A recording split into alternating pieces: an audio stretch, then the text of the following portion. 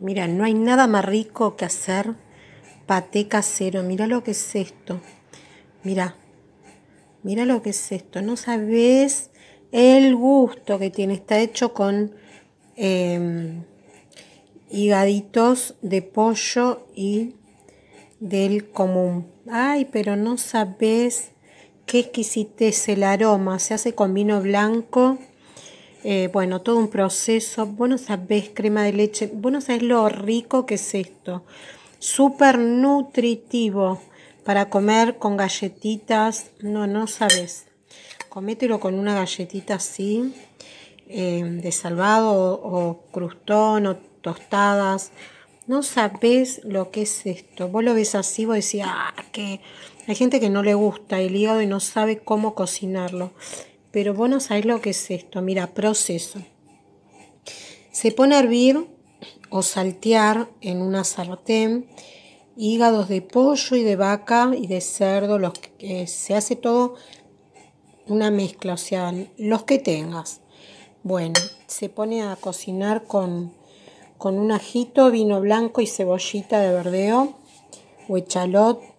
A esto eh, se le pone orégano, ají molido, sal, aceite de oliva, oliva y pimienta.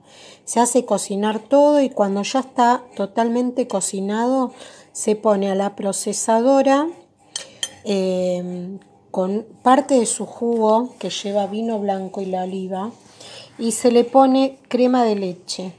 Crema de leche o dos cucharadas de mayonesa. Esto tiene que estar totalmente frío cuando vos lo proceses. A mí me gusta así súper chirlo, cosa de poderlo estirar en un pancito y se pueda comer. Eh, y si no, hay gente que lo hace más durito. Bueno, em, le pones orégano, pimienta, sal y a procesarlo. Eh, cambia de color por la crema de leche o la mayonesa que le quieras poner o incluso hay gente que le pone dos cucharadas de queso crema. Esto es para aliviar sabores que no, no sea muy muy fuerte. Bueno, esto te puede llegar a durar así como yo lo, te lo digo, em, tres días, cuatro días. Después ya le cambia un poquito el gusto.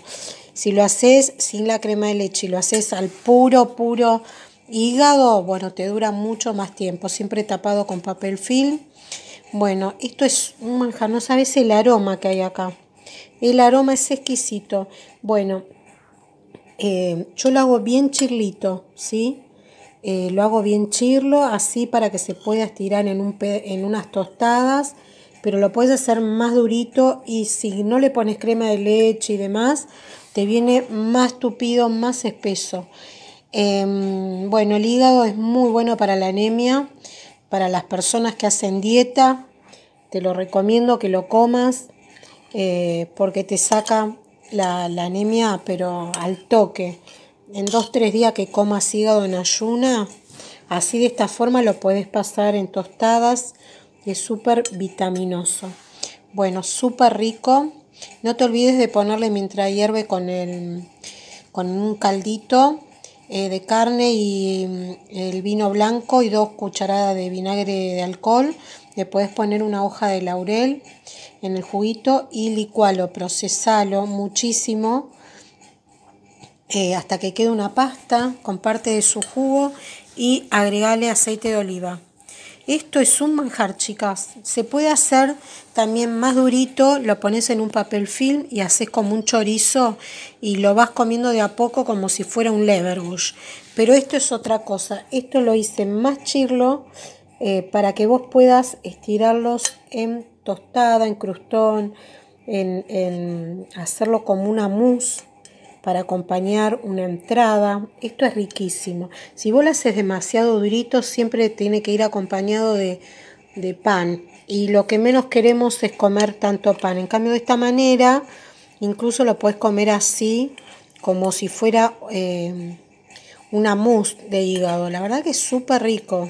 Súper, súper rico. Bueno, les mando un besito. Háganlo. Que hace muy bien a la salud para la anemia y demás. Eh, bueno, así simplemente así.